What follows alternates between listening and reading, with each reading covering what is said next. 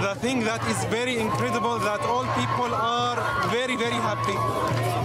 Not in any time of the year, people are happy. Uh, for me, it's a very heart beating to be in this area and uh, see all the people who are happy. I have been waiting for a moment like this for all, all of my life.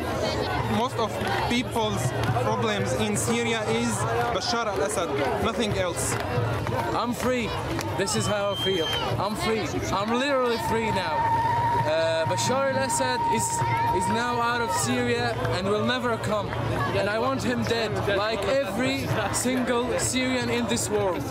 Because we have suffered and this man must die. Because he, he went to, to kill us here in Syria. Every single man in Syria have suffered his rage. So we need him killed right away. Please let this message be with all the Syrian people in here. Let the Syrian live, please. What's next for Syria? What happens next?